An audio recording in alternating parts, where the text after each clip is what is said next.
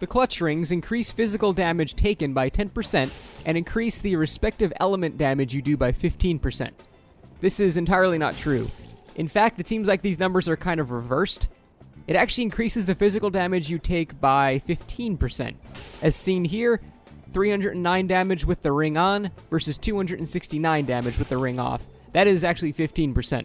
So these values seem to be kind of reversed, and even so, that's not accurate because we had it bunch of tests, and basically the Magic Clutch Ring, while it displayed a 15% increase in AR, like right down to a T, it was exactly 15%. The amount of damage actually done was closer to six to seven percent. So the numbers just they just lie. I don't know what else to say.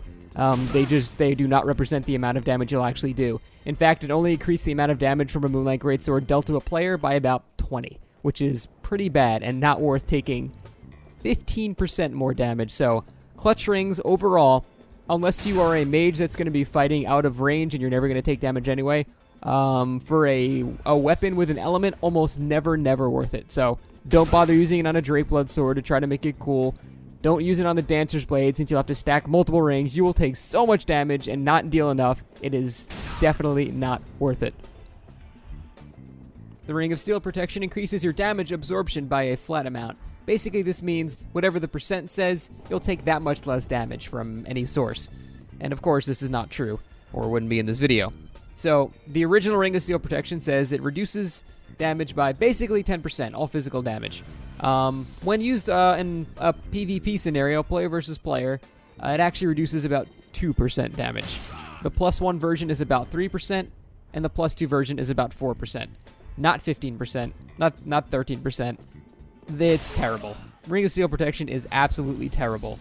Um, and I think this is actually on purpose because in Dark Souls 2 it had a similar thing where basically it was much stronger, um, you know, against single player, against computer enemies um, and against players, it was much less effective.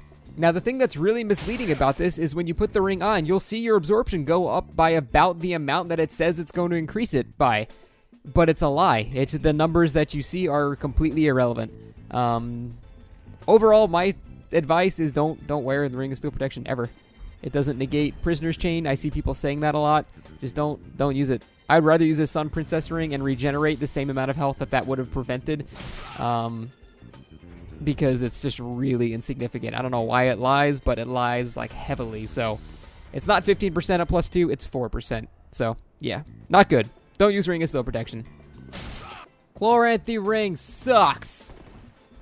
All right, this this information definitely started on Reddit. I remember actually reading the initial post, and um, there have been a couple of people who actually have come forward and put forth the correct information. But no, Chloranthy Ring does not really suck at all. It's not worse than Green Blossom. It's, I, I don't know where I don't know why people have believed that stuff.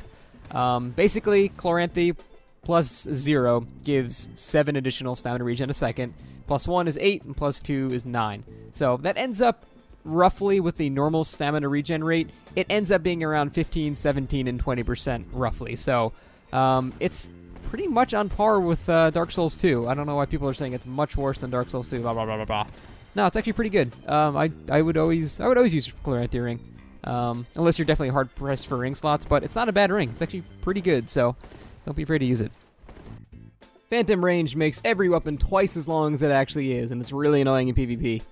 Well, I, it's it's annoying in PvP. That's not a misconception, but um, a lot of people don't quite understand how the Dark Souls netcode works, and I definitely recommend. This is self-promoting, but I recommend you uh, watch a video I made um, for Dark Souls 2, basically explaining how the netcode works, and the exact same principles apply. In a nutshell, really quick though, if you don't want to watch it, if you're running away from an attack due to latency on his uh, your opponent's screen, you won't like he'll still see you in range, and when he goes to hit you, you're still in range. So when you're running away, you'll still get hit because he sees you in range on his screen, even if on your screen you're further away, because this, the animations and the positions have not caught up to each other yet.